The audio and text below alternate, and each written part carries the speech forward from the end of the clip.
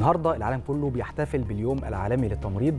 طبعا كلنا فاكرين التضحيات اللي قامت بيها أطقم التمريض في مصر والعالم كله أثناء أزمة انتشار فيروس كورونا. مصر قدمت شهداء من أطقم التمريض أثناء الجائحة وقدمت كمان أبطال.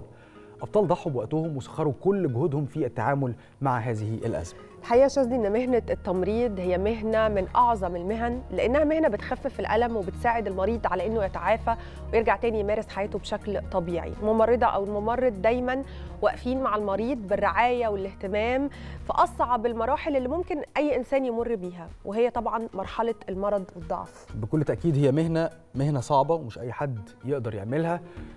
مسؤولية كبيرة كمان بالمناسبة. يعني في الوقت نفسه هي بما إنها مهنة صعبة فهي في مسؤولية كبيرة. عشان كده بيسموهم ملائكة الرحمة. الممرض أو الممرضة بيكون مطلوب منه إنه طول الوقت هادي وقادر يتعامل مع الحالة اللي قدامه وقادر يتعامل مع أهالي الحالة كمان اللي موجوده لازم يخفف من المريض أو يخفف عن المريض. وكمان لازم يكلمه بمنتهى الهدوء والود عشان يقدر يخفف عنه كمان لأنه دايما المريض في حالة التعب والمرض الشديد بيكون في حالة مزاجية مش أحسن حاجة فالمفروض ان الممرض كمان بيتعامل مع هذا الجانب النفسي المريض قبل الجانب العلاجي كمان يا بسنت ده حقيقي شاذلي وبالمناسبة دي كمان يعني قعدنا ندور كده السبب في احتفال اليوم ده إيه أو أول مرة كانت تمت الاحتفال بيه.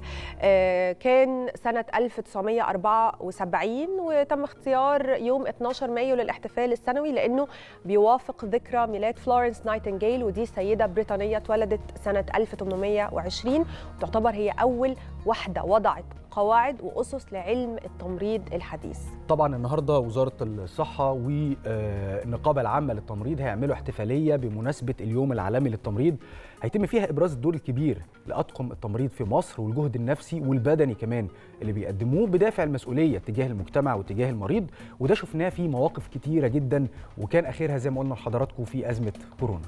بنصبح لحضراتكم مرة ثانية أهلا بيكم وحلقة جديدة من صباح الخير يا مصر.